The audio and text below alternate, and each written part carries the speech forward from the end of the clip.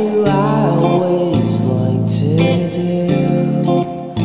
Things that doesn't make no money Why do I always spend my time